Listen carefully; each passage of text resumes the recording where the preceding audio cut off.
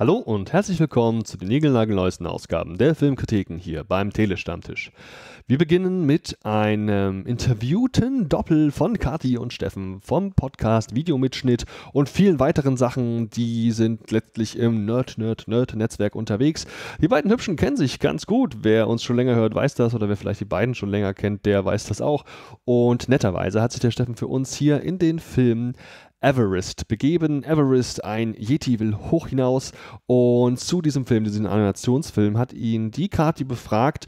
Ja, und genau diese Besprechung, die, die könnt ihr jetzt hier ganz zu Beginn hören. Im Anschluss gibt es die Besprechung zum Film White Crow, zu dem ich nicht viel weiß, außer dass er relativ künstlerisch ist. Es geht, glaube ich, um einen Balletttänzer. Und der liebe Chris als auch die Brit Marie waren beide so freundlich, sich diesen Film zu geben. Die haben sich, glaube ich, sogar persönlich getroffen, so mit Hallo sagen und Hände schütteln und wisst ihr wie? Und ähm, da haben sie dann eben diesen Film auch besprochen, der, glaube ich, echt ganz geil ist, weil er auch auf dem einen oder anderen Festival lief. Ich weiß gar nicht genau, ob er da groß abgeräumt hat, aber der ist dem einen oder anderen da draußen vielleicht schon untergekommen. Ja, und zu guter Letzt gibt es dann noch ein Solo zum Film Moselfahrt aus Liebeskummer. Das ist ein Film, der jetzt vor ungefähr gefühlten 50, 60 Jahren schon mal ins Kino kam. Jetzt gibt es da eine deutlich aufgewertete Neufassung von. Das heißt also, das Originalmaterial findet ihr jetzt hier in, ja, ich vermute einfach hoch aufgelöst, weil es eben neu abgetastet worden ist, vor mit deutlich sauberem Bild ein Schwarz-Weiß-Film, ein Heimatfilm eben zum Film Moselfahrt aus Liebeskummer. Und den haben sich ebenfalls Kathi und Steffen gegeben, die tatsächlich Fans des Genres sind und ich glaube den Regisseur irgendwie auch kennen und mögen. Und ja, die beiden wussten übrigens nicht, dass in dem Pressescreener, den sie zur Verfügung gestellt bekommen haben, dass sich dabei gar nicht um die neue Digitalversion handelt, dieser hochauflösende, sondern das war quasi das Original noch einmal.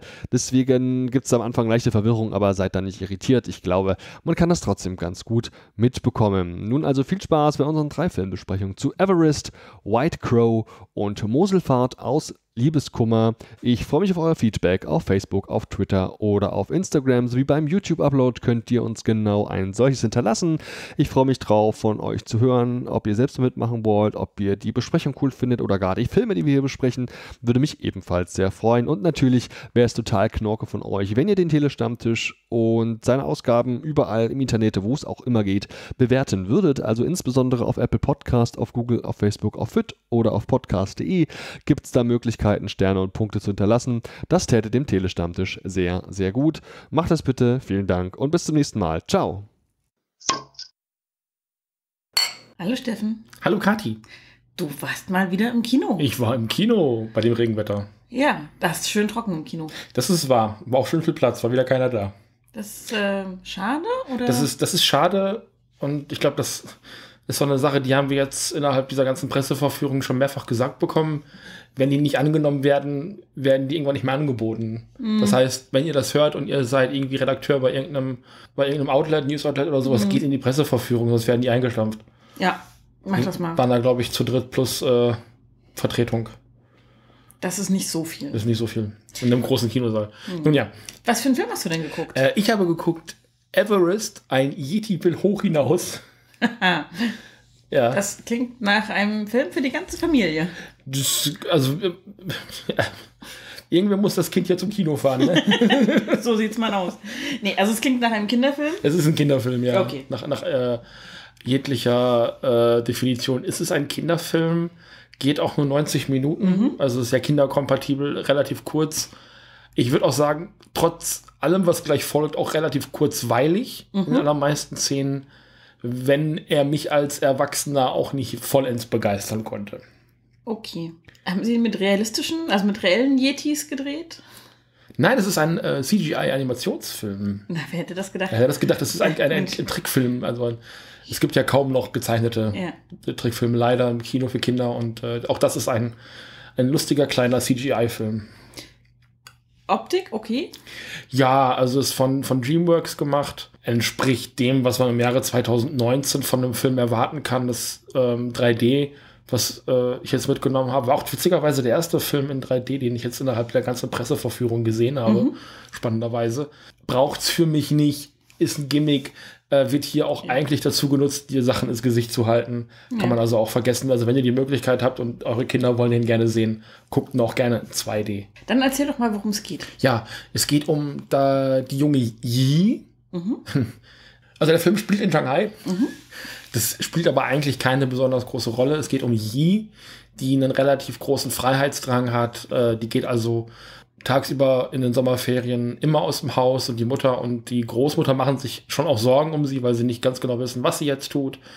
Ähm, sie ist also sehr selten zu Hause und Yi trifft dann eines Abends, den sie auf dem Dach des Hauses ver verbringt, auf den Yeti Everest. Zumindest gibt Yi ihm diesen Namen. Und Everest ist kurz zuvor aus einem Labor entflohen, das sieht man dann. Und gemeinsam versuchen die beiden erstmal in, in Eigenregie Everest eben zu selbigen zu bringen, weil das wohl sein, seine Heimat ist.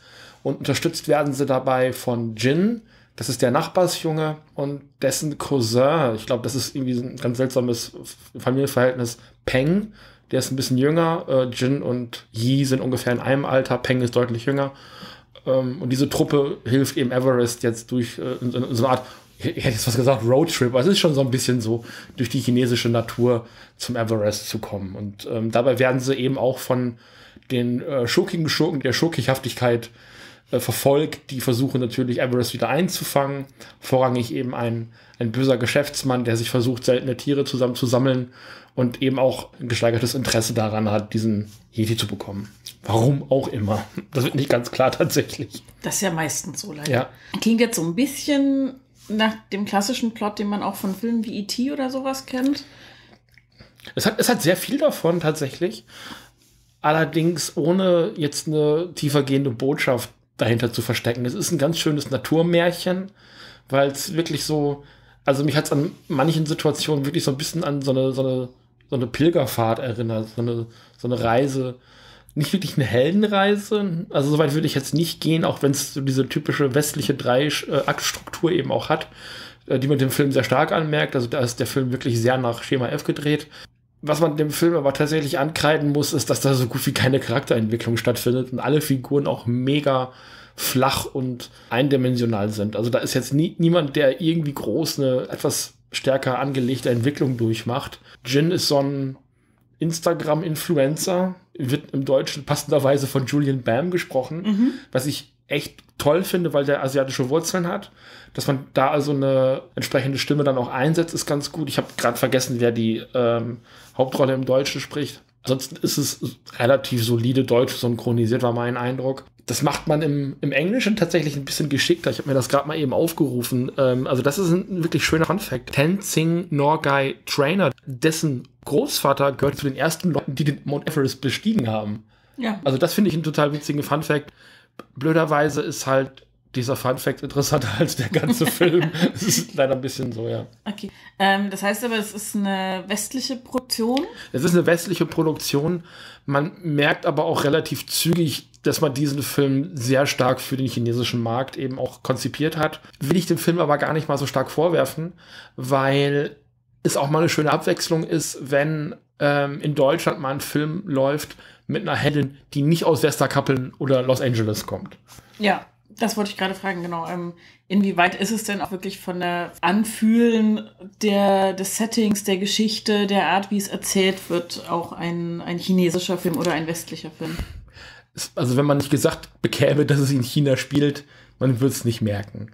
Das ist das Ding. Also es sind große Naturaufnahmen, äh, also so große Szenerien, die sind aber derartig einfarbig und meistens einfach nur grün, weil es als eben so ein kleines Naturmärchen ist. Also ich kann verrat, glaube ich, gar nicht so viel, dass der Yeti Everest so Kräfte hat, mit denen er die Natur zum Erblühen bringen kann. Und das machen sie zwei, dreimal. Irgendwann kriegt dann auch, und jetzt spoiler ich gleich ein bisschen, auch Yi diese Kräfte. Dafür, dass der Film eben tatsächlich in China spielen soll, ist er also sehr, sehr, sehr, sehr, sehr, sehr einfarbig. Das hat man am Anfang in der ersten Stadtszene, hat man das, äh, da muss wohl abends um 20 Uhr muss dann eine Lightshow losgehen.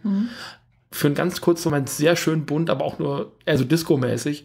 Und obwohl man sich, wo man den Rest der Zeit irgendwo in der Natur verbringt, optisch gesehen, ist es eigentlich meistens nur grün. Und das ist, das war mir ehrlich gesagt man sieht eigentlich hauptsächlich diese vier Charaktere, die drei Kinder und den Yeti, wie sie irgendwie durch den Wald rennen oder in einem Blütenmeer durch die Gegend fliegen. Und es ist immer sehr einfarbig grün, vielleicht ein bisschen weiß drin, ein bisschen blau. Also optisch reißt der Film wirklich keine Bäume aus, leider. Bisschen schade. Ja. Hm. Was man dem Film zugutehalten muss, ist, dass er von, von Jill Carlton regisiert worden ist. Also sie hat in Regie geführt. Die hat auch schon an der Monster AG mitgearbeitet. Mhm. Die hatte so den ersten Drehbuchentwurf, der kam von ihr, hat auch an Jagdsaison mitgearbeitet. Also sie ist eben auch für Animationsfilme absolut gemacht, hätte ich jetzt fast gesagt. Also dann passt es eben auch, dass sie in den Film ähm, eine weibliche Hauptfigur in den Mittelpunkt stellt. Und man sieht an dem Yeti, also man guckt ihn sich an und er würde so, also ohne mhm. ihn irgendwie zu verändern, auch in die Monster AG reinpassen. Mhm. Du siehst ihn gerade ja auch auf dem Bildschirm. Ja, auf jeden der Fall, äh, ja. passt da so rein. Der ist auch niedlich, also das ist gar nicht die Frage. Und der Film hat auch Spannungsmomente mhm. und, und Actionmomente. Es ist aber dann doch eher ein Film für die ganz Kleinen. Also, wenn ihr da mit euren kleinen Kindern reingeht, also wenn die so acht sind oder sowas, im Saal waren zwei Kinder mit dabei, mhm. zwei Mädchen. Einer der Leute von der Agentur hatten dann wohl äh, die beiden Kinder mitgebracht. Und die hatten schon ihren Spaß, habe ich den Eindruck gehabt. Aber ich, ich glaube, viel älter als die beiden und die waren keine zehn, darf man dann nicht sein. Okay. Ansonsten hat man da keinen großen Spaß dran. Okay, das hätte ich jetzt noch gefragt, für welche Altersgruppe ja. ähm, du das einschätzen würdest. Du sagst, es gibt auch ein paar finstere Schurken der Schurkenhaftigkeit. Sind die gruselig? Sind die eher nicht so gruselig? haben die, haben die wirklich was zu tun oder sind die nur da, damit ein bisschen Fahrt in die Ja, das, das Ding ist, also gerade so die fehlende Charakterentwicklung und also, das mache ich einfach wirklich am ehesten an den Schurken fest. Die sind derartig eindimensional. Und dann gibt es halt irgendwann einen Twist bei den Schurken, der einfach überhaupt nicht nachzuvollziehen ist. Da reden wir dann gleich nach der Aufnahme mal drüber. Und das kommt sehr plötzlich. Und ich glaube, das ist dann auch so der Grund, warum man sich als Erwachsener da vielleicht ein bisschen fehl am Platze fühlt in dem Film. Weil da kann, könnte man dann schon mal glauben, dass man da ein bisschen verarscht wird in dem Moment. Weil, also das ist wirklich ein Moment, wo ich gemerkt habe, Moment, jetzt habt ihr uns die eine Hälfte des Films das eine erzählt, stellt sich es anders raus, als es eigentlich gemeint gewesen ist. Also das ist eine Art von Charakterentwicklung, die für mich nicht nach, nach, nachvollziehbar war äh, in, innerhalb der Schurken. Und die Kids machen so gut wie keine Entwicklung durch und das bisschen Charakterentwicklung, was Yi tatsächlich durchmacht, so dieses, ja, ich will immer alleine sein, aber eigentlich will ich gar nicht alleine sein und dies und das, das ist so dieses Thema Showdown Tell. Das mhm. machen sie eben auch nicht besonders gut. Also den Film kannst du wirklich mit den Kindern gucken, wenn man selber nicht als Erwachsener allzu viel drüber nachdenkt, geht ja schon klar. Aber den macht man bitte wirklich vorrangig für die Kinder an. Ansonsten hat man da, als Erwachsener hat man da, glaube ich, wenig Spaß dran. Es ist wirklich sehr flach, sehr unmotiviert und ich glaube schon, dass das ein Ding gewesen ist, was man auf den chinesischen Markt schieben möchte. Also es wirkt einfach wirklich so chinesische Hauptfiguren, äh, das Setting in China, eine Sagenfigur, die eben in den Himalaya-Bergen unterwegs ist. So, das soll alles schon eben an das Publikum gerichtet sein und ja. Du hast gesagt, Charakterentwicklung ist nicht so dolle, Spannung hält sich auch in Grenzen. Wie hm. sieht es denn mit dem Humor aus? Das ist immer so das dritte Standbein bei Kinderfilmen ja, der Yeti ist ganz niedlich. Der läuft auch manchmal irgendwo gegen und macht dann lustige Gesichter. Dann, also Slapstick ist da auf jeden Fall mit dabei. Mhm. Auf der Dialogebene hält sich das in Grenzen. Es gibt so ein paar witzige Figuren, die mal ins Bild gehüpft kommen. Es wirkt auch im Humorbereich eher bemüht und auch eher auf den plötzlichen Slapstick-Lacher aus. So, so, einmal so witzig sein, hihi, jetzt mache ich mal eben was Lustiges oder da kommt eine lustige Figur ins Bild und mach hup. So, dann ist das irgendwie, das, also ich erzähle dir gleich, was da witzig war mhm. und die sind auch wirklich niedlich gemacht, aber ich glaube schon, dass das eher als Naturmärchen gemeint ist, weil es auch in sich selber also wenn man anfängt, ich kann das nochmal wiederholen, wenn man anfängt über diesen Film nachzudenken, verliert er noch viel mehr. okay. Letzter Gedanke noch, bevor du zur Wertung kommst. Wenn du eine Empfehlung aussprechen solltest, Kino, DVD-Release, was würdest du raten? Hier bei den Telestammtisch-Filmkritiken wollen wir die Leute ja auch ins Kino locken. Mhm. Und auch da bleibe ich bei meiner Aussage, geht mit euren Kindern ins Kino. Weil die werden, glaube ich, schon Spaß daran haben. Aber lasst sie wirklich nicht zu alt sein. Maximal als Begleitperson. Und dann setzt euch vielleicht irgendwo hinten in die Ecke und guckt ins Handy. Keine Ahnung. Oder macht einen Podcast an. Ich weiß es nicht. Weil ich glaube, als Erwachsener hat man hier in dem Film wirklich keinen Spaß. Aber Kinder haben hier, denke ich mal, nehmen da genug raus, um dann hinterher auch aus dem Film rauszugehen und zu sagen, ich hatte eine gute Zeit nach anderthalb Stunden. Ja, das gibt schon ein paar große Bilder. Ähm, ich habe es zwischendurch so den Rosamunde Pilcher-Effekt genannt, weil meine Oma damals immer sagte, nee, ich gucke das gar nicht wegen der Liebesszenen, sondern ich gucke das wegen der Landschaftsaufnahmen. da sind schon zwei, drei nette Kamerafahrten mit drin und die Action zwischendurch ist eben für Kinder auch geeignet. Aber auf der, auf der Textebene, jetzt fast gesagt, bringt der Film tatsächlich wenig mit. Wenn ihr einen großen Fernseher habt, wartet auf die DVD. Wenn, ihr Bock, wenn, wenn die Kinder für den Nachmittag ins Kino sollen und ihr braucht irgendwas total Kompatibles für junge Kinder, dann geht auf jeden Fall auch damit ins Kino. Äh, ist aber jetzt kein Monster AG. Also Monster AG ist durchaus auch für Erwachsene geeignet mit den ganzen Metaebenen mhm. und hast du nicht gesehen, mit der ganzen Botschaft, die da auch drin steckt. Also selbst auf dieser kann man als Kind dann auch was draus lernen. Es ist ja auch nicht wirklich so ein Öko-Ding, weil es geht auch gar nicht um die Erhaltung der Natur, mhm. sondern es ist halt wirklich nur so ein, ja, wir müssen diesen Yeti fangen und dieser Yeti muss eben zurück nach Hause kommen. Also mehr ist es eigentlich auch nicht. Okay. Dann eine Sternewertung noch von dir, wenn du möchtest. Ja, mit Einschränkung eben, weil ich sie als Erwachsener ja, äh, gegeben habe. Ich habe jetzt äh, zweieinhalb Sterne gegeben, weil es wirklich derartig durchschnittlich ist für mhm. mich. Also die Dialoge sind austauschbar, die Figuren sind austauschbar. Es ist alles sehr klischeehaft. Es ist auch nicht so aufdringlich schlecht. Also es ist halt, es ist nicht wirklich schlecht, aber es ist halt auch nicht gut. Es ist eben durchschnittlich. Okay. Gut, aber nicht schlecht ist ja auch schon mal. Nee, nicht schlecht ist der kleine Bruder von Scheiße. Gut, so hart wollen wir mit dem Film jetzt vielleicht dann doch nicht ins Gericht gehen. Dann danke ich dir für deine Einschätzung. Hast du noch irgendwas ganz Wichtiges zu sagen zu dem Film? Wupp. Herzlich willkommen zum Telestammtisch. Ich bin der Chris und mit dabei ist die Brit Marie. Hallo. Hallo. Wir sprechen über den Film äh, The White Crow, der am 26. September 2019 seinen Filmstart feiern wird. Er hat eine Länge von zwei Stunden und sieben. Ralph Fiennes hat Regie geführt. Mhm. Das ist bemerkenswert, weil man ihn ja doch eher als Schauspieler kennt. Und das hier war wohl seine dritte Regiearbeit. Und der Film selber war zum Großteil in Russisch und ein bisschen in Englisch und Französisch, was schwierig war, weil das Einzige, was ich gut genug konnte davon, war Englisch. Also Gott sei Dank für die Untertitel. Ja, die Untertitel waren zwar ein bisschen nervig, weil du natürlich lesen musst und wenn du das nicht gewöhnt bist, das ist ein bisschen ungewohnt. Ich konnte mir das Russisch so ein bisschen herleiten, weil ich ja als Muttersprache Polnisch habe. Da sind einige Wörter sehr ähnlich und da kann man zumindest den Kontext raushören. Das ist schon mal nicht verkehrt, aber Französisch kann ich so gar nicht. Daher war ich auch ganz froh, dass es dann Untertiteln gab. Ist aber interessant, dass es äh, zumindest das, was wir jetzt gesehen haben, das war ja überhaupt nicht gedappt. Ne? Also äh, weißt du, ob da noch eine gedappte Version rauskommt? Da habe ich jetzt nichts drüber gelesen. Aber ähm, ich weiß es nicht, ich könnte mir, aber ich kann mir nicht vorstellen, dass das nicht synchronisiert wird. Nee, das glaube ich nämlich auch nicht. Ich denke mal, die synchronisierte Fassung ist wahrscheinlich nur noch nicht erhältlich gewesen, als wir jetzt geguckt haben. Aber eine Frage, ich weiß nicht, ob du das so beurteilen kannst. Ich habe das ja oft so, wenn ich einen Film gucke und dann sprechen irgendwelche Leute Russisch, oft sind es ja irgendwie die Bösewichte in James Bond oder so, dann ähm, sitzt neben mir oft, also ab und zu mal sitzt da eine Freundin neben mir und die so, oh, die sprechen so schlecht Russisch. Das ist, die hat so einen krassen Akzent, so spricht kein normaler Russe Russisch. Kannst du beurteilen, ob das Russisch in dem Film gut war oder weißt hm, du auch nicht so richtig? Kann ich nicht. Nee, nee, ich okay. kann das im Polnischen kann, könnte ich das noch sagen, aber im Russischen, also es gibt einige deutsche Filme, wo ich dann sagen könnte, okay, das haben die auswendig gelernt, weil dann der Akzent so extrem ist. Ne? Also der deutsche Akzent, der dann so ein bisschen durchscheint. Und ähm, ja, das, das schon, aber ansonsten eigentlich eher weniger. Mhm. Also ich weiß zumindest, dass der Hauptdarsteller, der also Nureyev spielt, der tanzt in Russland. Also der äh, kommt aber aus der Ukraine. Also ich vermute, der wird hoffentlich einigermaßen Russisch sprechen können. Aber das ist auch ja, nur geraten. Klar. Also ich kann das auch nicht beurteilen. Aber okay, das hätte mich nur mal interessiert, so im Vorhinein. Mhm. Ja, worum geht's in dem Film? Kannst du das kurz zusammenfassen? Ja, im Grunde ist der Film äh, ein Ausschnitt aus dem Leben von Rudolf Nureyev, ähm, einem sehr bekannten Balletttänzer, den man vielleicht auch kennt, wenn man vom Ballett nicht so viel Ahnung hat, so wie ich. ich, ich liebe Ballett, ich habe aber keine Ahnung und ich äh, kenne Nureyev. Das war so, oh ja. Ähm, und es geht um eine Szene aus seinem Leben und auch darüber wusste ich tatsächlich ein bisschen was, weil das eben so spektakulär war. Ähm, er war ja äh, russischer Tänzer zur Zeit, als es noch die UdSSR gab, wo es eben auch noch den Eisernen Vorgang gab und mitten im Kalten Krieg muss es mhm. war es 61, glaube ich, gell?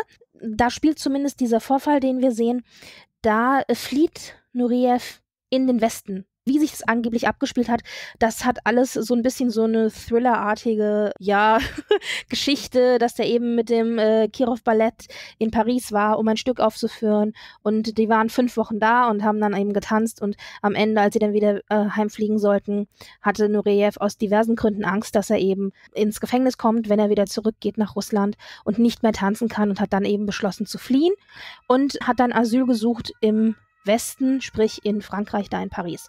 Und diese Szene, um diese Szene dreht sich eigentlich der ganze Film.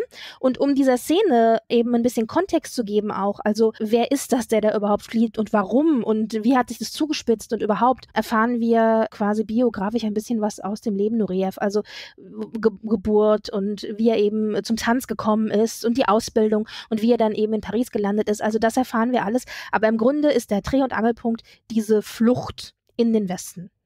Mhm, genau. Der Film basiert übrigens auch noch auf einem Buch, äh, und zwar von, äh, von der Frau Julie Cavendish, keine Ahnung, Ja, eine britische glaub Journalistin. ich, ja. Cavendish? Äh, keine Ahnung. Na, also es gab ein Interview von ähm, den, also von den Leuten, die da mitgemacht haben eben, und es gab ein Interview, in dem, ähm, ich glaube, David Hare, der Drehbuchschreiber, ähm, gesagt hat, dass er von dem Buch inspiriert, inspiriert war. Und zwar eigentlich nur von den ersten sechs Kapiteln, die wohl genau diese Flucht in den Westen umreißt. Und da ähm, hat halt gesagt, dass das Ganze ja äh, schon, wie gesagt, so ein bisschen so eine Thriller-artige äh, Sache war und dass er sich halt halt vorstellen können, da eben auch so ein Thriller drumherum zu stricken. Und dann ist er mit dem Material eben zu den Pro Producern gegangen, beziehungsweise Ralph Fiennes. Und der meinte dann, ja, ja, hast schon recht, aber um das verständlich zu machen, wie es dazu gekommen ist, da brauchen wir ein bisschen Kontext und da muss das Ganze eingebettet drin sein. Und äh, deswegen ist es wohl dann auch so gekommen und so gemacht worden. Genau, und statt eigentlich diese ja, gefühlte zehn Minuten, die die da erzählt haben, einfach nur so plump abzufilmen, hatten die ganz interessante Sprünge gemacht. Und zwar, diese Geschichte wurde ja ganz normal erzählt, also die, diese Reise Richtung Paris und äh, wie er dann halt seine Aufführung hat, die werden erzählt und dann Schritt für Schritt jedes Mal, wenn er irgendwas äh, gemacht hat, was ihn an seine Heimat oder an seine Vergangenheit erinnert, springen wir dann auch komplett in diese Geschichte und äh, sehen dann halt auch, wer ist denn diese Person? Wer ist denn dieser Tänzer? Was passiert denn oder was ist passiert, dass er jetzt an dieser Situation äh, oder an dieser Stelle im Leben ist, steht und sie die Entscheidung trifft, die er gerade trifft. Weil die sind ja dann schon doch ein bisschen gewagt im Vergleich zu seinen anderen Tänzer und Tänzerinnen, die, mit denen er unterwegs ist. Ja, also dass er eben äh, ausgeht nachts und feiert und ähm, eben sich dem kapitalistischen Leben ergibt und irgendwie auch in Strip, äh, vermeintliche Stripclubs geht und ähm, was nicht alles. Also der macht da Party und macht Party hart. Und äh, man muss dazu auch sagen, das Ballett ist in Paris ja nicht alleine. Die sind von KGB-Agenten begleitet worden, die regelmäßig auch die Leute eben äh, überwacht haben, die beschattet haben, auch geguckt haben, wo sie unterwegs sind. Das war also normal. Viele der äh, Chefs dieser äh, Truppe die da mit gewesen sind, Organisatoren und was nicht alles, das waren ganz klar politisch engagierte ähm, äh, Leute. Das heißt, man wusste, dass man ständig überwacht wurde und eigentlich keine Freiheiten hatte. Nureyev nimmt sich diese Freiheiten einfach. Natürlich ist er abhängig davon, dass dann auch sein, ähm, ja, wie sagt man, Ballettchef, sage ich jetzt mal, auch nickt und sagt, okay, ihr könnt weggehen, ja. Also ein bisschen muss man seine Schäfchen am langen Zügel dann auch äh, gehen lassen. Aber äh, ja, er hat das halt wirklich ausgenutzt. Ja, fädelt das aber auch immer schön ein in den Kontext. Wenn er fragt, dann äh, sind meistens auch noch Dritte da, die eventuell nicht mitkriegen sollten, dass sie da an so einer kurzen Leine gehalten werden und dann dementsprechend provoziert er auch ja, der weiß schon, dass er der weiß schon, wie er das, also in der Beziehung zumindest weiß er schon, wie er das System bedienen muss, ja.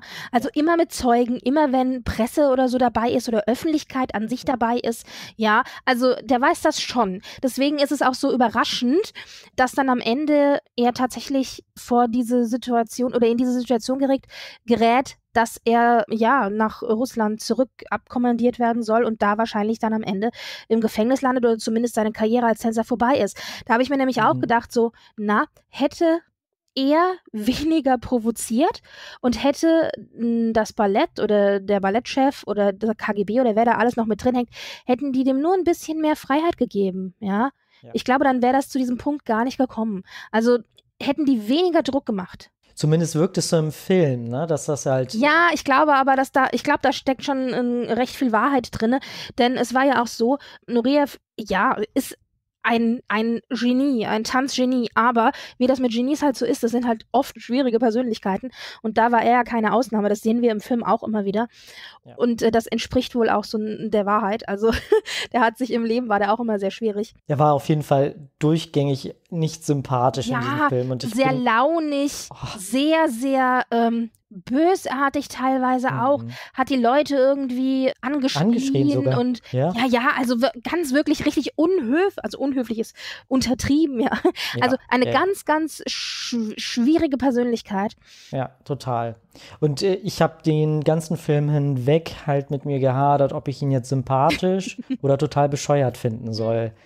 Und äh, auch so seine, seine, die Art und Weise halt, wie er wie er seine Entscheidungen dann getroffen haben, die waren so irrational teilweise. Also zumindest wirkte das so auf mich. Und ich bin konstant in so einer Situation gewesen, wo ich innerlich gekämpft habe und überlegt habe, okay, ich verstehe ihn. Einerseits, er kommt jetzt so in den Westen und äh, hat dann im Endeffekt, zumindest zeigen die das, ja im ganzen Leben hinweg ja nicht wirklich was geschenkt bekommen. Er hat sich alles erkämpft, er hat alles versucht irgendwie, um sich halt seine Freiheiten, um seine Passion durchzudrücken. Und äh, was ich halt jetzt äh, sehr seltsam finde, weil das hattest du jetzt äh, gesagt und es steht halt auch in seiner Wiki-Seite, dass er ein Tanzgenie ist und das auch total toll kann und bla und sowieso. Er wird aber im Film durchgängig so dargestellt, als wäre er total äh, clumsy, sagen sie dann immer, ähm, also tollpatschig. Ja, aber das ist natürlich, das ist, glaube ich, das ist Absicht natürlich auch von der Obrigkeit, um ihn klein zu halten. Ja. Okay. Ähm, ja, klar. Also ich habe da, wie gesagt, ich bin ja auch kein, ich habe von Tanz nicht so viel Ahnung. Ich, ich sehe es gerne, aber ich kann dir jetzt nicht sagen, ob der eine besonders tolle Technik hatte oder nicht. Also die Tatsache ist, glaube ich, schon so. Er hat ja relativ spät auch im Tanzen angefangen und ähm, mhm. was er hatte und ja, also äh, er hatte dann später wohl auch die Technik. Aber was er hatte, und ich finde, das sieht man halt ganz, ganz deutlich, wenn man sich mal Originalaufnahmen oder auch Interviews von ihm anschaut, aber vor allen Dingen die Originalaufnahmen, da ist am Ende im Abspann sieht man auch ein bisschen was von den Originaltänzen. Mhm. Er war halt unheimlich charismatisch. Also okay. es war eine unheimlich charismatische Persönlichkeit. Oder wenn du einfach mal Bilder googelst oder so, wenn du den so siehst, also du siehst schon alleine auf den Bildern, das finde ich immer wieder so wahnsinnig überraschend. Du siehst halt auf den Bildern schon allein, der, was für ein, was für ein, was für ein Charisma dieser Mann hatte, ja. Und als, also, und wenn der tanzt, also ich, ich, das ist wirklich Wahnsinn, ja. Ich kann schon verstehen, dass da Männer und Frauen ihm zu Füßen lagen und irgendwie, also der war ja dann wirklich hoch gefeiert und dieses Charisma, das hat leider der Schauspieler, der ihn hier spielt, nicht.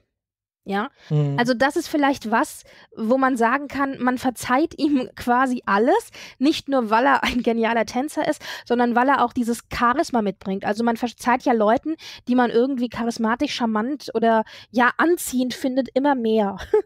Mhm. Und dieses Charisma, das fehlt mir so und das ist das, was mir hier echt gefehlt hat in dem Film. Das ist natürlich aber auch schwierig, weil das ist etwas, was natürlich diese Person Nureyev hatte, ja, und das ihn unverwechselbar irgendwie gemacht hat. Und das kann man natürlich dann auch schwierig, äh, ja, äh, duplizieren für einen Film. Ja. Das geht halt nicht, ja. Man, ich fand aber auch bei ihm, er hat sehr, ja, wie so ein Holzklotz Schauspieler. so krass. Da wollte ich nämlich noch drauf eingehen. Und zwar, man muss dazu sagen, also Nureyev, wie gesagt, ist ja Tänzer und dann ist es immer schwierig, mhm. wenn man so Ballettfilme hat.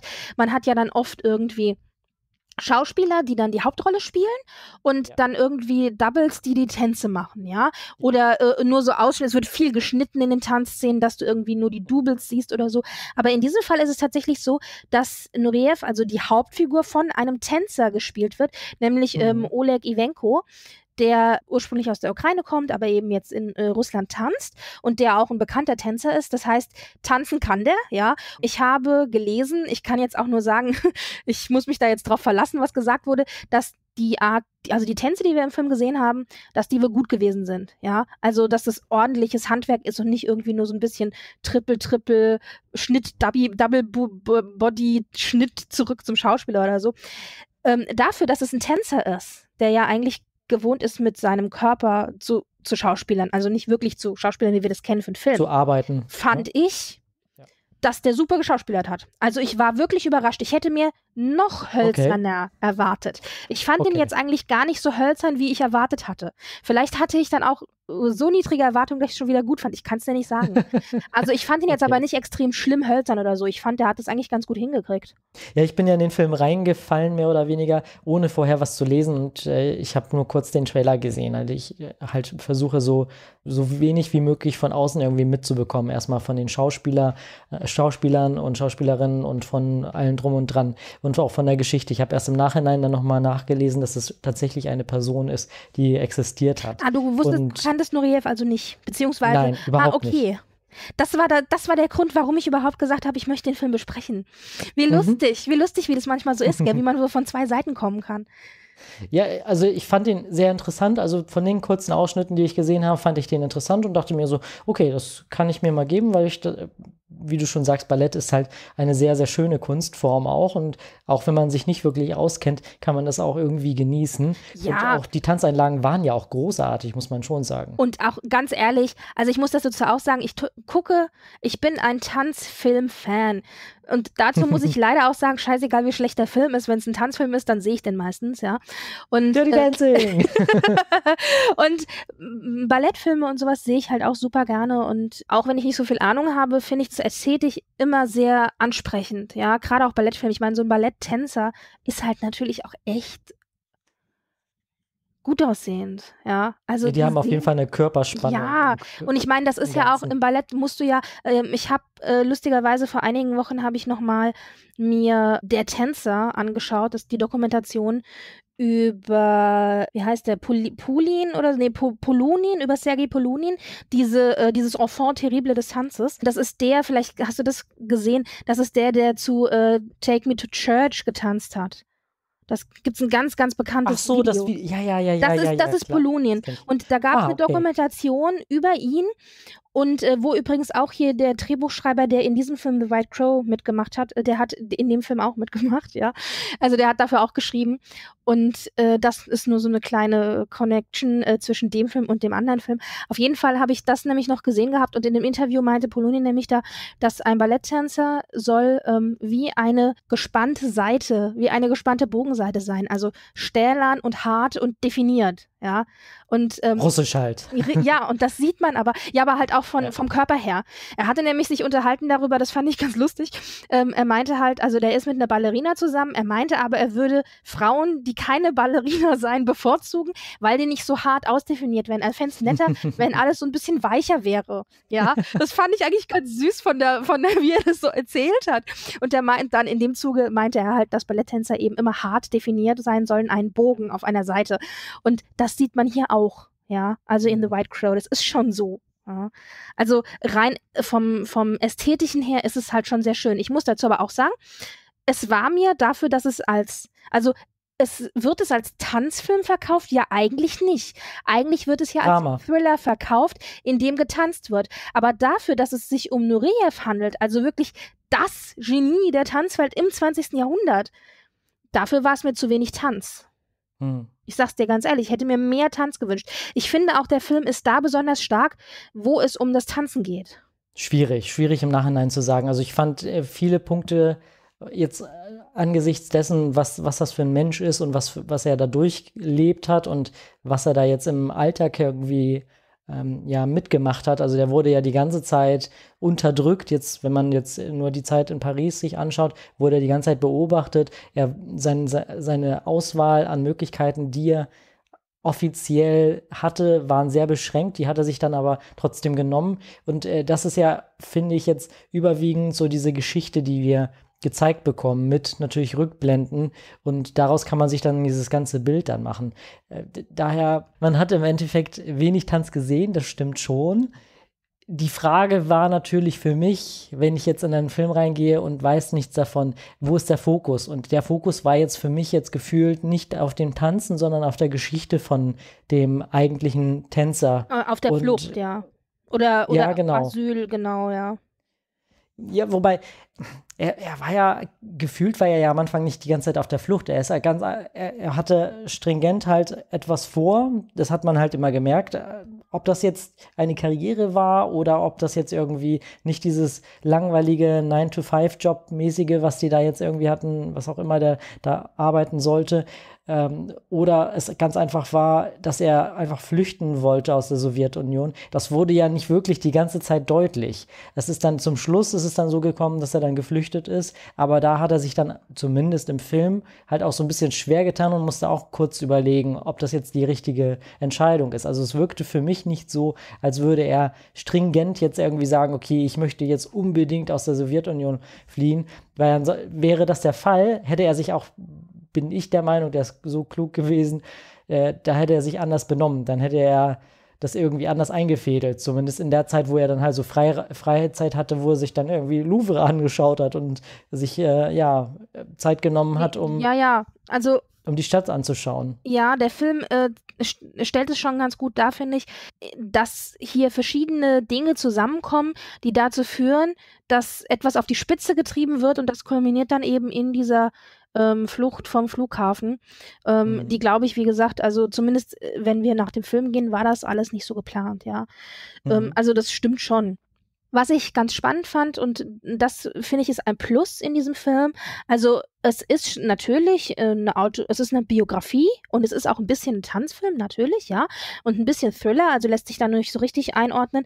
Was ich aber ganz schön finde, dafür, dass es eine Biografie ist, dass wir so ein bisschen von diesen klassischen Biografiefallen, die es ja oft gibt, die umgehen wir, ja. Also ich meine, der Klassiker ist ja irgendwie, keine Ahnung, Person A, Tänzer, äh, kommt in den Westen, verliebt sich in Person B und beschließt dann zu fliehen oder so, ja. Also das haben wir ja nicht oder ja. oder ähm, keine Ahnung oder hier gequälter Tänzer äh, irgendwie. Also es, es, es gibt ein paar Klischees die in dem Film auch bedient werden. Es gibt auch einige Szenen wo ich denke da ist es da ist mir ähm, das zu viel da ist mir das zu drüber ja da ist mir das zu viel. Zum Beispiel wenn es um die Kindheitsszenen und so geht aber ja, da können wir gleich oh nochmal zwei, drei, äh, sage ich gleich nochmal drei Sachen. Aber ähm, ich finde, wie gesagt, dass bestimmte Klischees einfach umgangen werden und das ist ein Plus in diesem Film. Dann gibt es mhm. natürlich auch wieder Dinge, wo man sagt, wie zum Beispiel jetzt diese Kindheitsszenen, die mir dann zu viel sind.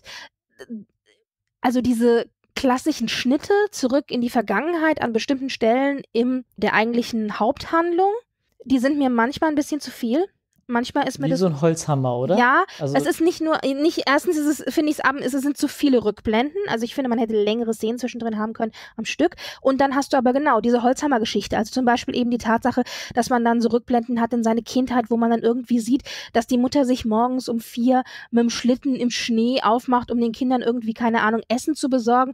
Oder dass der Vater dann nach dem Krieg nach Hause kommt und eben überhaupt keine Beziehung zu seinem Sohn hat und ihn dann irgendwie alleine im Wald sitzen lässt, während er jagen geht geht, ja. Also das sind alles so Szenen. Es hat schon ein bisschen was von Hänsel und Gretel zwischendrin gehabt, wo ich, also es ist doch alles sehr, sehr klischeebehaftet. Das heißt nicht, dass es nicht vielleicht schon so gewesen sein könnte, ja.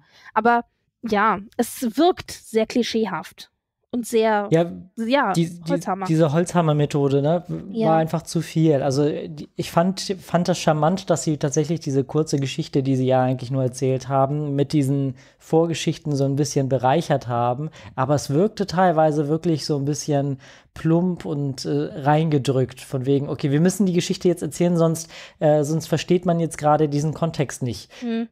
Deswegen, das ist das, was ich meinte mit, ich finde, der Film ist da am besten, wo es um seinen, seinen, äh, seinen Tanz geht. Denn wir haben auch Rückblenden in seine Zeit ähm, äh, an der Ballettschule oder an der weiterführenden Ballettschule und wie er dann eben zum Kirov-Ballett Kirov -Ballett gekommen ist. Und ich finde diese Szenen auch, ähm, die finde ich am spannendsten mit in seiner Biografie äh, oder in diesem Film, auch abgesehen von der eigentlichen Flucht, weil wir dann nämlich auch ganz interessante Dynamiken haben mit den Personen um ihn drumherum, ja. Also wir haben ja seinen ähm, Mentor oder Lehrer Pushkin, der von Ralf Feins gespielt wird, und dessen Frau. Und das ist ja dann ein ganz, ganz seltsames Beziehungsdreieck, das sich dann da auftut. Und äh, Ralf Feins, muss ich auch sagen, spielt auch diesen Pushkin äh, ganz toll. Also einen mhm. sehr devoten, ruhigen Vertreter, den man eigentlich nur als Zuschauer nehmen und will und schütteln will und sagen will, wehr dich doch mal, ja. Und die Ehefrau, die eben zuerst ähm, meint man so eine Art mütterliches Interesse an Nureyev zeigt, um ihn dann am Ende zu verführen.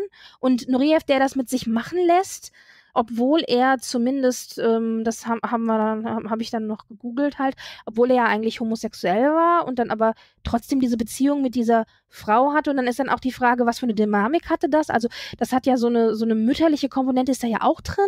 Also, es ist ganz, ganz schwierig. Aber das fand ich mit am spannendsten. Und ja, da geht es um die Sexualität des Tänzers, aber das ist trotzdem nicht das, was im Mittelpunkt des Films steht. Ja, aber es wird die ganze Zeit damit gespielt. Also ja, das finde ich aber gut. Ja, finde ich, find ich auch gut. Ich finde es nur ein bisschen problematisch, weil er, wenn das ein queerer Tänzer war, dann ist es ein bisschen schade, dass sie das immer auch so auf einer Metaebene versucht haben zu verstecken, denn auch in Frankreich lernt ihr ja eine Frau kennen und diese Frau verhilft ihn dann natürlich äh, dann auch zur Flucht. Aber er liebäugelt dann auch immer noch mit äh, zwei, drei anderen Typen und Wobei, das fand ich aber ganz gut, weil ich hatte schon das Gefühl, bei dieser Freundschaft, die er dann mit dieser Chilenin hatte, äh, in Frankreich, die mir dann auch geholfen hat, da hatte ich schon das Gefühl, dass das alles auf platonischer Basis abgelaufen ist. Also, dass das echt eine Freundschaft war und keine Beziehung.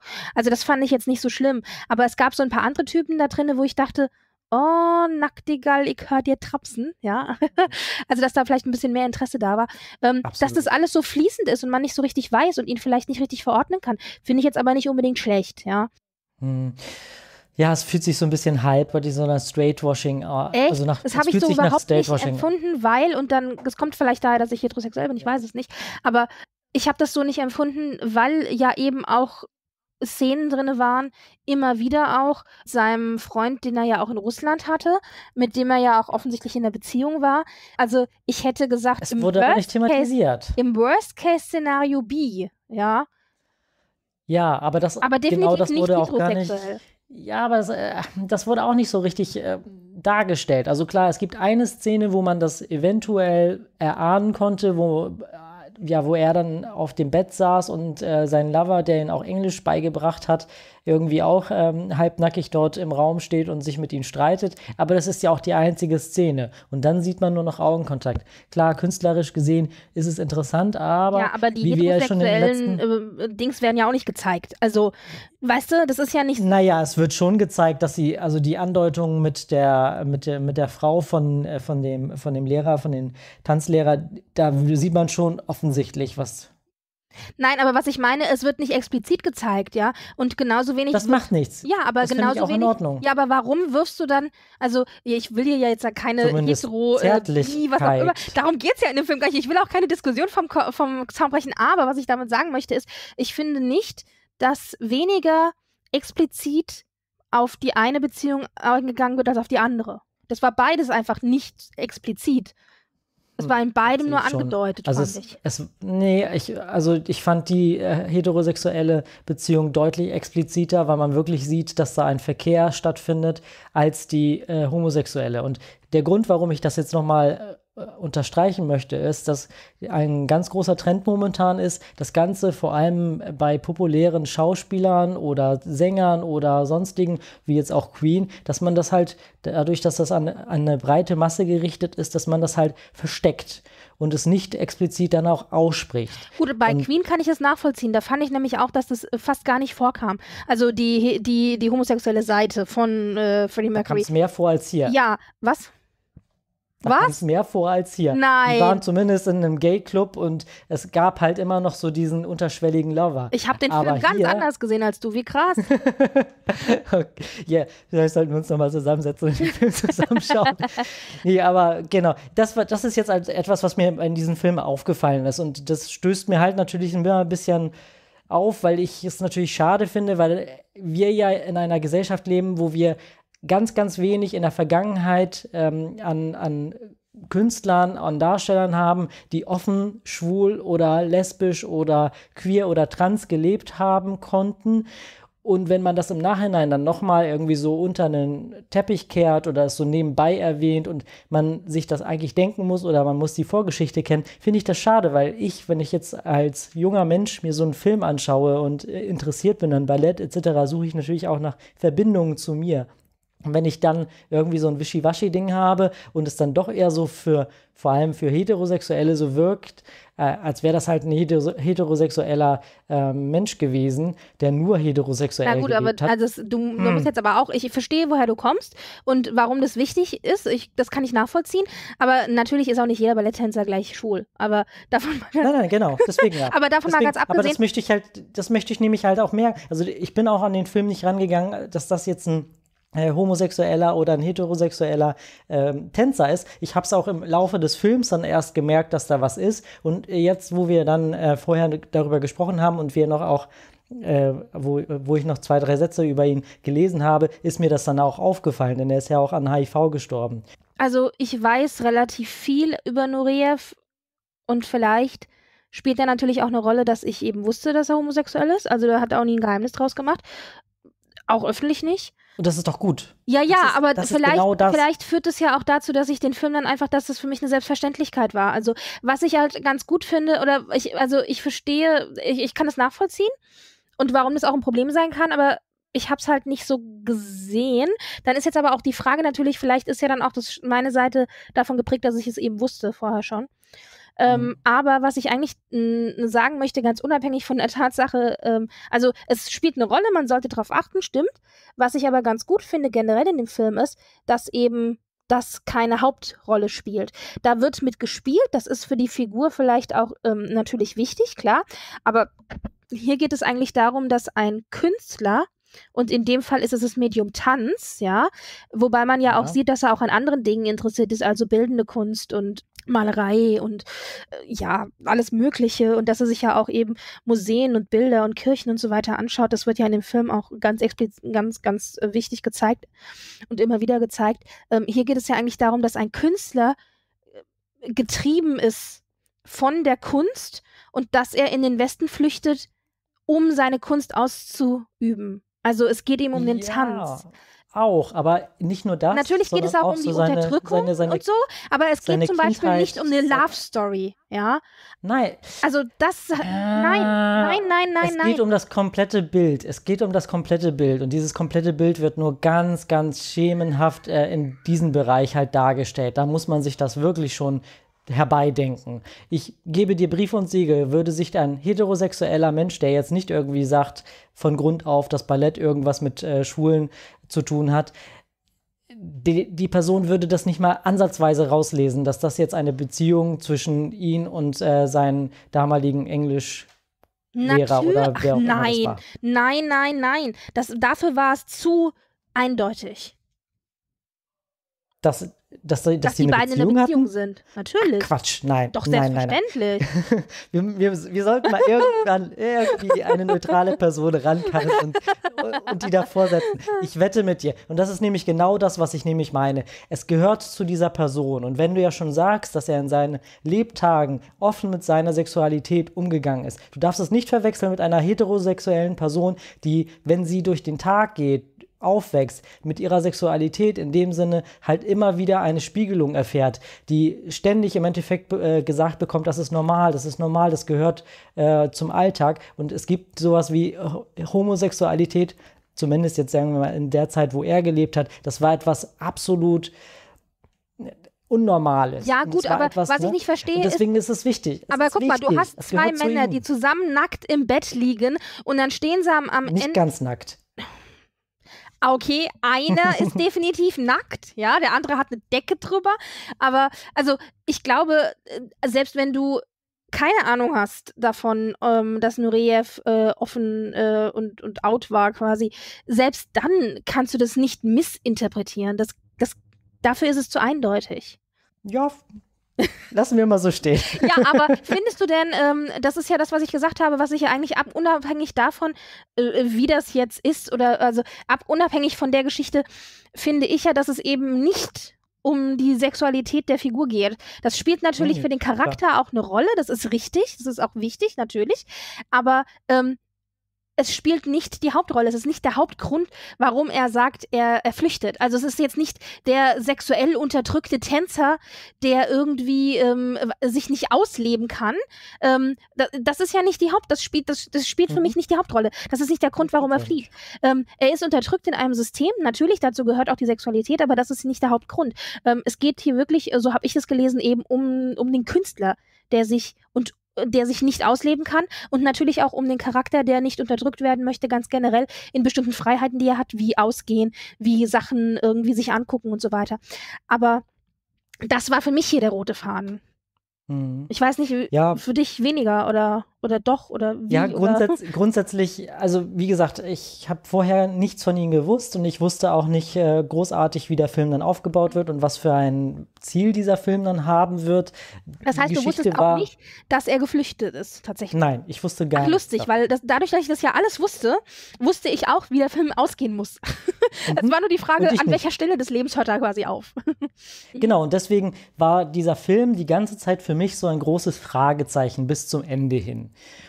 Und wo ich mir auch jedes Mal die Frage gestellt habe, diese einzelnen Personen, die kurz oder mehr oder weniger kurz dann in seinem Leben eine wichtige Rolle spielen, wie wichtig sind diese Personen jetzt allgemein, jetzt für die Geschichte, für die Handlung? Und wir springen ja immer in die Vergangenheit zurück, dann sieht man den Lehrer und äh, die Ehefrau, dann sieht man nochmal die Eltern die, äh, von ihm und die, die ganz komischen Beziehungen, die er auch zu den ganzen Leuten führt. Also eigentlich hat er gar keine richtigen Beziehungen. Also diese ganzen Leute helfen ihm zwar mehr oder weniger oder halten ihn halten ihn unten, weil die einen gewissen Stand halt nur erreicht haben oder ziehen ihn dementsprechend halt ein bisschen hoch. Aber im Endeffekt, äh, man spürt die ganze Zeit im Film hinweg nicht, wo, wohin will er? Will er denn, also ist er jetzt glücklich, ist er traurig mit der Situation? Er will immer irgendwo hin, aber dieses Gefühl, wohin will er eigentlich? Will er jetzt eigentlich flüchten? Will er jetzt da bleiben? Ist er zufrieden damit? Ist er unzufrieden? Und ähm, die ganze aber Zeit hinweg habe ich dieses Gefühl in, verspürt ja. und wusste nicht, worauf es hinausläuft. Dann natürlich, wo es dann halt immer äh, weiter gegen Ende ging, da, da war es natürlich offensichtlich, dass er dann flüchten wird, aber.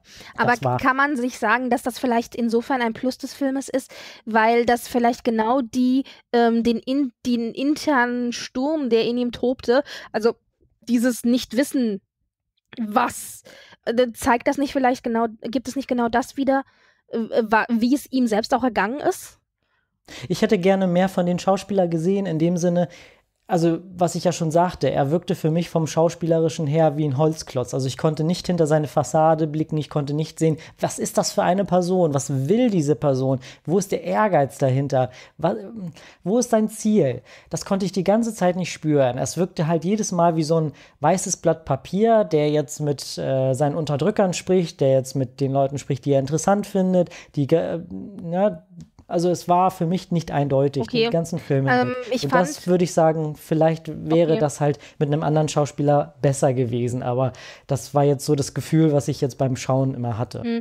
Also ähm, ja, teilweise kann ich das nachvollziehen. Auf der anderen Seite ähm, habe ich das aber auch so ein bisschen als, als ähm, ja, Absicht empfunden für den Charakter, weil man ja, also dass man eben nicht tiefer in den Charakter eingetaucht ist, das war für mich auch ein bisschen Absicht, dass man immer so dieses, man, weil das ist ja auch das beim Tanz sieht man ja immer nur das schöne Äußere, ja. Also, dass du so ein bisschen auch diese glatte Oberfläche vielleicht hattest. Aber äh, ich kann auch verstehen, dass man das als ein Negativ bei diesem Film sehen kann. Und dann sitzt man natürlich wieder zwischen allen Stühlen. Möchte man einen Film mit einem sehr guten Schauspieler, einem, aber einem grottigen Tänzer, oder möchtest hm. du einen ordentlichen Tänzer und, und äh, dafür vielleicht nur einen max halbordentlichen, ja, mittelmäßigen. Also man muss sagen, der war ja, als ich fand ihn dafür, dass er Tänzer ist, fand ich, hat er nicht schlecht geschauspielert, muss man ja auch dazu ja. sagen. Also, aber das ist natürlich dafür, da dass, da, wenn man schon diese Ausnahme macht, ja, ist halt schwierig. Also da ist die Frage, auf was man da eher Wert legt. Und ähm, ja, schwierig. Was ich vorhin noch sagen wollte, äh, weil wir uns ganz kurz nochmal über seinen Lehrer und dessen Frau und diese seltsame Dreiecksbeziehung unterhalten haben. Ich wollte noch sagen, in Nurievs Leben waren ältere Frauen in, auf, in vielen Stationen seines Lebens waren ältere Frauen wichtig für ihn, auf die eine oder auf die andere Weise, ja. Mhm. Und ähm, ich glaube, das wird hier auch so ein bisschen gezeigt mit dieser Dreiecksbeziehung. Da steckt ja eben auch Ja, und auch sein schwieriges Verhältnis vielleicht auch mit der Mutter oder mit der Familie an sich. Also da sind so ein paar, äh, werden so ein paar Dinge aufgegriffen oder angedeutet auch, die grundsätzlich dann später noch für, für den Tänzer eben eine gewisse Rolle gespielt haben. Aber ich finde auch hier der Figur so ein bisschen, ähm, äh, so ein bisschen Dinge mitgegeben haben, wo man sagt, hätte ich vielleicht mehr gerne drüber erfahren, ja. Also mhm. das Verhältnis zu, zur Mutter, dieses seltsame Verhältnis zu dem Lehrer, diese, diese, diese Vater, Mutter, Kind-Konstellation und gleichzeitig aber auch diese sexuelle Komponente, aber gleichzeitig auch diese devote Komponente des Ehemannes, der aber auch gleichzeitig der, der äh, Mentor und Lehrer war. Also das ist alles sehr, sehr, das ist, wie gesagt, ich hätte mir eher, am liebsten hätte ich einen Film darüber, ja. Das hätte ich spannender gefunden, so als ja. Erforschung und, und in, in, da gibt es auch viele psychologische Ansatzpunkte, ich finde, die sich dann noch ein bisschen erklären, wenn wir ihn später in Paris sehen zum Beispiel. Also es gibt so ein paar Dinge, die vielleicht auch ein bisschen erklären, warum der in diversen Situationen austickt, ja. Also wir haben eine Szene, da sitzt er im Restaurant und da ist eben ein russischer Kellner und da hat er das Gefühl, dass dieser russische Kellner eben auf ihn hinabschaut, weil er nur ein äh, ja irgendwie einfacher Bauernjunge ist, ja. Mhm. Und er sagt, und das passt, ist so ein bisschen auch, passt, passt sehr schön zu diesem Film an sich, er sagt, ich spiele einen Prinz auf der Bühne, aber ich bin kein Prinz im Leben. Ja. Mhm. Und äh, also, dass da auch einfach so eine Geschichte, eine Selbstwertgeschichte mit drin hängt für diesen Charakter und dass da vielleicht auch vieles motiviert ist, dieses Austicken und dieses Um sich schlagen, äh, wie so ein Tier in einer Falle oder so. Also da waren auch so, wie gesagt, so ein paar psychologische Komponenten drin, die ich ganz spannend fand, die ich mir ein bisschen mehr erforscht gewünscht hätte. Ja. Ja, die haben sich halt für, für die 10-Minuten-Geschichte ja. entschieden, die sie dann im Endeffekt dann ausgeschmückt haben. Was sie übrigens auch gemacht haben, äh, nochmal, das möchte ich noch erwähnen, was sie auch gemacht haben und was natürlich auch so ein bisschen dazu beigetragen hat, dass man diese Holzhammer-Geschichte hatte, sie haben immer versucht, ähm, also sie haben wohl zum Teil mit Originalkameras gedreht aus den 60ern. Ich finde, das sieht man auch, ja. Also wenn sie dann in Paris sind, wenn er da ankommt und dann wird eben Paris gefilmt, dann ist natürlich alles bunt und laut und schön, aber es sieht ein bisschen aus, als hätte einer mit einer 8mm Kamera gefilmt, ja. Also das ist schon. Was aber einen schönen Charme hat. Ja, genau, das fand ich auch sehr charmant. Und was aber auch gemacht worden ist, und das war natürlich wirklich extrem Holzhammer, immer wenn wir die Kindheitsszenen hatte oder die Szenen, die irgendwie in Russland gespielt haben, wurde so ein Graufilter drüber gelegt. Es ja. ist immer Winter gewesen gewesen in seiner Kindheit. Ja. Es war immer äh, kalt und Winter und äh, und Egal, es war immer so ein Graufilter drüber. also das war schon sehr äh, Hollywood, ja, wo ich ja, mir dachte, ich sag ja Holzhammer, Leute, das war ein genau. zu viel. Ja, aber kommen wir, kommen wir mal zum, zum Fazit. Äh, ja. Was für eine Bewertung würdest du ich geben? Ich hätte ihn mir 30 Minuten mindestens kürzer gewünscht, muss ich auch ja. sagen. Also das hätte dem Film, glaube ich, ganz gut getan. ja. Hm, also, ich bereue nicht, dass ich ihn gesehen habe. Mhm. Also es war jetzt keine verlorene Zeit. Aber wie gesagt, es gab ein paar Dinge, die hätte ich mir einfach anders gewünscht. Deswegen, wenn ich jetzt bewerten müsste zwischen, sagen wir mal, 0 und 5, 5 ist sehr gut, 0 ist äh, sehr schlecht, dann würde ich dem eine 3 geben. Mal, solider Film, okay, aber ja, muss man nicht gesehen haben. Leider. Hm, ja, also drei würde ich auch definitiv geben, ob man den nicht gesehen haben muss. Also wäre. Guckt euch lieber eine Dokumentation über Nureyev an oder geht auf YouTube und guckt euch Nureyev-Clips an, äh, Solos oder irgendwie, da gibt es auch, keine Ahnung, seinen Auftritt in der Sesamstraße mit Miss Piggy oder was auch immer, ja. Also, ja. okay, also eindeutig eine Nicht-Empfehlung. Das ist so schwierig, weil er war ja wirklich, also ich glaube, ich bin zu streng, denn er war ja jetzt nicht wirklich schlecht, aber er war halt auch nicht großartig. Ja, man kann ihn sich mal angucken, wenn man mal einen freien Abend hat, man hat mal Lust irgendwie so ein bisschen äh, irgendwie so Thriller und Tanz so ein bisschen sich anzugucken, dann kann man den, den sich anschauen, da ist es schon nett verbrachter Abend, ja. Also so ist es also nicht. Also das das ist ein Film, den du auf Arte irgendwann abends siehst, einschaltest und sagst, okay, den kann ich mir jetzt gerade geben. Ich habe äh, gerade Lust auf diesen Film. Auf so einen Tanzfilm, wo du noch ein bisschen Kontext bekommst und dann basiert es auch noch auf einer wahren Begebenheit. Das ist schon ganz nett. Was ich ein bisschen schade finde, ist ganz einfach, dass die den Hauptdarsteller halt so ein bisschen, hm, ja, nicht so gut besetzt haben, meiner Meinung nach. Und äh, ja, viel, also Kleinigkeiten so ein bisschen platt waren. Aber ansonsten fand ich den okay. Ich würde den aber nicht nochmal sehen. Ja, das kann ich so unterschreiben. Gut, dann würde ich sagen, haben wir genug gequatscht über den Film. Das war The White Crow. Äh, Britt, vielen Dank, dass wir uns darüber unterhalten konnten, wie wir diesen Film fanden. Ja, Und fand ich auch gut. Und fand ich vor allen Dingen spannend, weil wir auch dann doch ein bisschen anders beide äh, jeweils Genau. den Film gesehen haben. Aber das war ja dann mal, ähm, ja, eine ordentliche Diskussion. das stimmt. Und vielen Dank euch, die ihr uns jetzt noch zugehört habt. Bis dann. Tschüss. Tschüss. Hallo und herzlich willkommen auf dieser wunderschönen Fahrt über die Mosel, an der Mosel entlang, im Moselgebiet. Trinken Sie ein Glas Wein, gucken Sie sich die schönen Weinberge an und hören Sie den Podcast, die Telestammtisch Filmkritiken an. Genau. Genau. Ich bin Ihr Captain, Ihr Mosel-Captain, Steffen. und bei mir ist Matrosin Kati. Hallo. Hallo. Kann es sein, dass du schon einen Wein zu viel hattest? Ich mag ja gar keinen Wein. Ich finde, das ist ekelig. Ich hasse Wein. Das ist, man kann es nicht mit jagen. Und es gibt ja so diese alte, diese alte Nummer. Da probier doch mal, Steffi, du bist doch nicht alt genug, du kannst ja Alkohol trinken. Aber dann probierst du das und du spuckst es quer über den Tisch. Genau. Und dann, wenn du 30 Jahre und älter bist und sagst, du magst ihn immer noch nicht, Leute, ja, aber der hier schmeckt ganz anders als die anderen. Probier Genau. den mal. Sch schmeckt für mich alles wie verschimmelter äh, Traubensaft. Ist das ja irgendwie auch. Ja, ja. So aus, aber die sagen halt immer, das hat so einen ehrlichen Nachgeschmack. Und die sagen, ich denke so, ja, Erde schmeckt's wirklich. Also das ist Also Wein und ich werden keine Freunde, das ist, glaube ich, schon mal klar. Gut, dass wir hier in einem Film und nicht in einem Weinbesprechungspodcast sind. Da wäre ich absolut fehl am Platze, das In kann ich schon mal sagen. Wir haben einen Film gesehen, der jetzt demnächst die Woche in ausgewählte Kinos in Deutschland kommen wird. Äh, vorrangig in der Moselregion. Lustigerweise und auch in anderen, einigen anderen Kinos in Deutschland. Wir haben gesehen Moselfahrt aus Liebeskummer. Ein Heimatfilm aus dem Jahre 1953 Mhm. von, also ich habe schon Filme von ihm gesehen, die ich sehr mochte. Mhm. Gut Hoffmann. Mhm. Und der Film ist nochmal digital restauriert worden. Also da ist nochmal ein bisschen äh, nachgebessert worden wollen und der kommt jetzt eben die Woche ins Kino.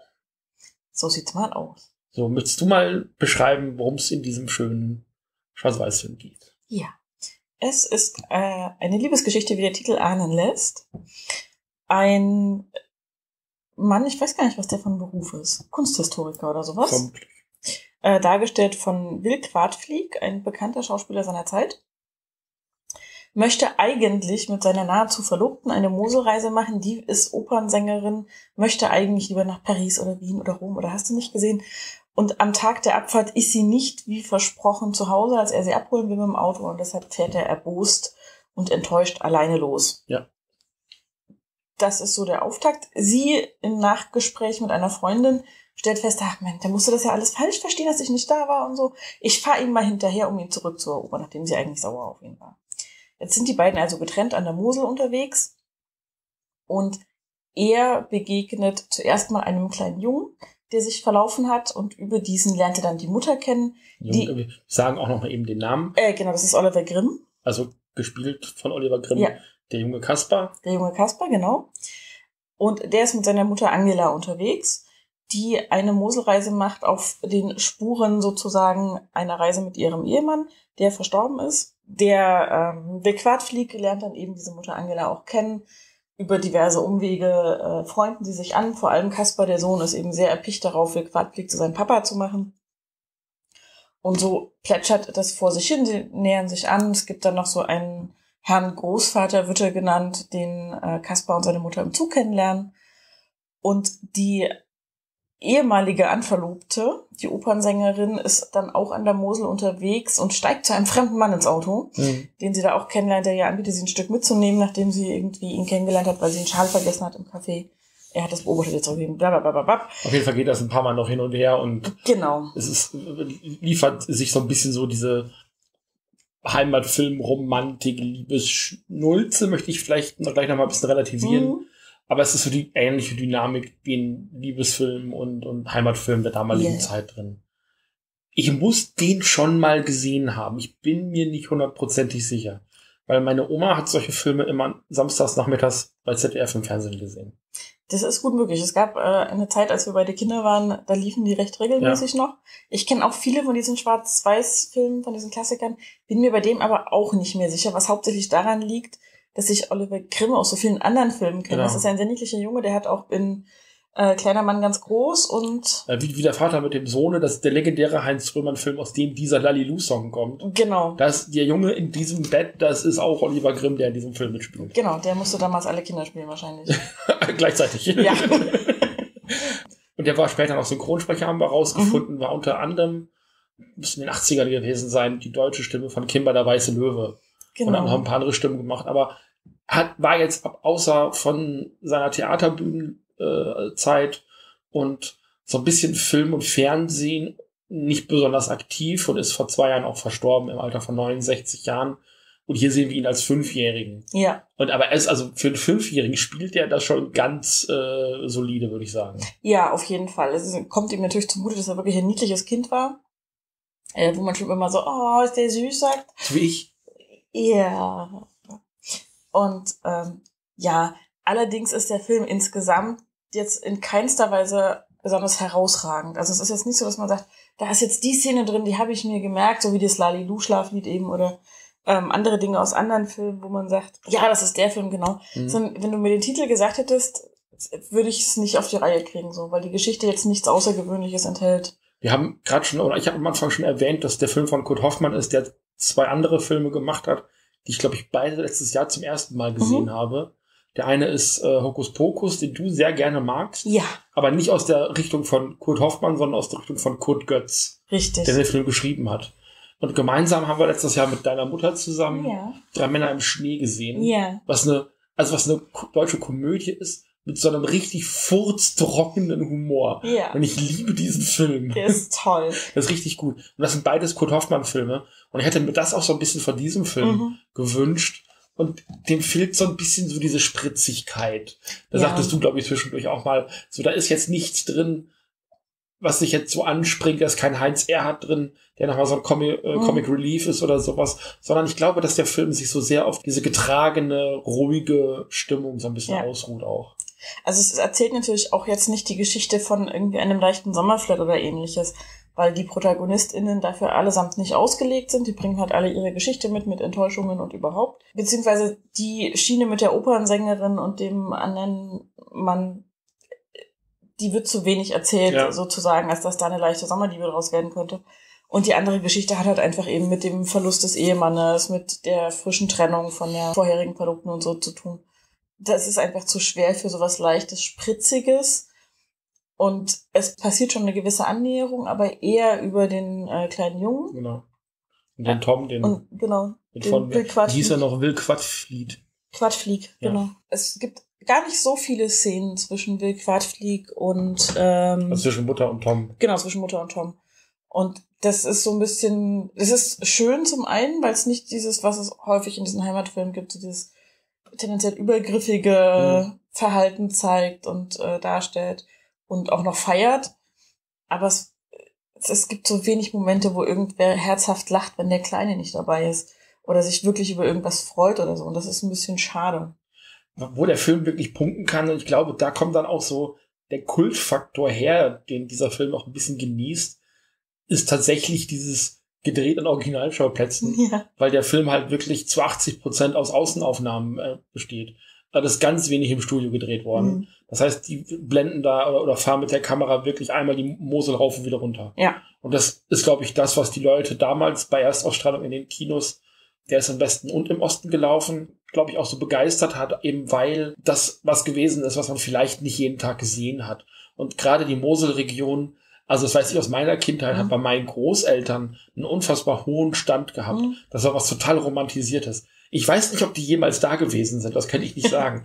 Aber wenn es um die Mosel geht, da haben die, ach, das muss da so schön sein, ach, das ist da mit den Weinbergen. Und da haben einfach eine Moselfahrt machen. Aber mal so eine Moselfahrt wirklich, die Mhm. titelgebende gemacht zu haben, das war, glaube ich, in den, in den Augen äh, meiner Großeltern was ganz, ganz äh, erstrebenswertes. Ich könnte jetzt nicht schwören, ob sie mal da gewesen sind oder nicht. Ich würde würd fast sagen, ja, aber ich könnte nicht beschwören. Ich persönlich war noch nicht da. Also ich Mhm. wüsste jetzt nicht, wahrscheinlich bin ich mit dem Zug dran vorbeigefahren, wenn ich von äh, Norddeutschland zu dir runter nach Stuttgart gefahren bin. Ja, das ist gut möglich. ich weiß, ich war mit meinen Eltern in der Ecke auf jeden Fall, also nicht komplett Mosel, sondern so das Mischgebiet zwischen Rhein und Mosel. Ja. Weil meine Eltern eine Ferienwohnung hatten, Mhm. die sie jetzt dauerhaft vermietet haben und die haben dann öfter mal da Urlaub gemacht. Als sie noch nicht dauerhaft vermietet waren, haben sie das angeguckt. Also da tauchen noch so ein paar Ortsnamen auf, Bernkastel und sowas, wo ich durchaus schon gewesen bin. Okay. Jetzt hat für mich als ähm, A, farbsehender Mensch und B, Kind des Farbfernsehens, das Manko so, dass diese Heimatromantik in Schwarz-Weiß ein bisschen dünn ist mittlerweile. Es, es fehlt so ein, also bei Heimatfilmen denke ich halt an grüne Wiesen Hm, und die blauen Schürzen, die äh, beim sich drehen über die grüne Wiese halt äh, rund um die Frauen herum. ja, Also ein bisschen Sound of Music ja halt. genau. So, das ist für mich einfach so prototypisch Heimatfilm. Mhm. Viele davon sind halt leider in Schwarz-Weiß, weil Mhm. es damals kein oder wenig Farbfilm gab. Mhm. Gerade in Deutschland, so kurz nach dem Krieg.